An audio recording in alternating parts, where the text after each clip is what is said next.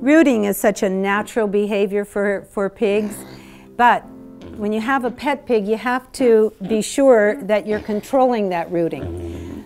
Rooting on the mommy's belly, okay, you can get down.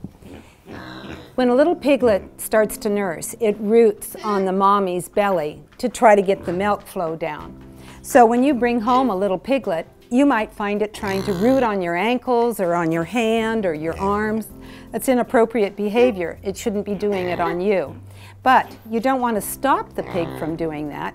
You want to try to give it something else. Give it a toy, give it a pillow to start rooting on, and then tell them that that's good root. And then if they're rooting on you, that's bad root. Now, in order to stop rooting in the yard, it's also very important that you know that pigs root mostly in the spring when the ground is thawing out and the only thing good to eat out there is under the ground. So they root under during the springtime. Same thing happens in the fall.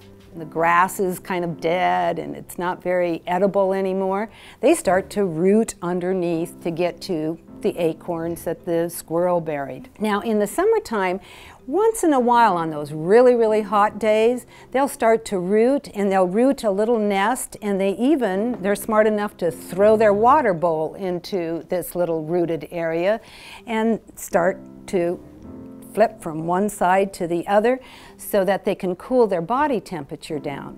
Their body temperatures are not regulated internally. They don't pant, they don't sweat like we do, so they have to use that mud in order to keep cool. So it's a very important thing that you do provide for them a source of water. It doesn't have to be mud.